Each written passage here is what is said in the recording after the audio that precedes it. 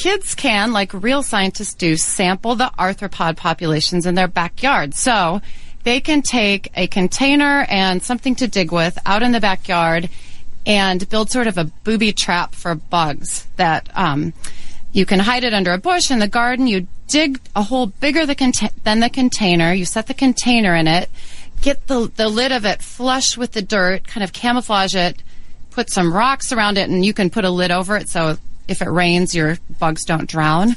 But it's a great way for kids to sample the insect population, insects, um, arachnids like spiders, um, and even crustaceans like um, isopods, you know, like sow bugs mm. and pill bugs that fall into their trap. They can look at it the next day. They can dump out what they caught, look at it under a magnifying glass. If they want to, they can try to identify it. They could draw it. They could take a picture of it. Um, I would say just get them started and see what they do with it.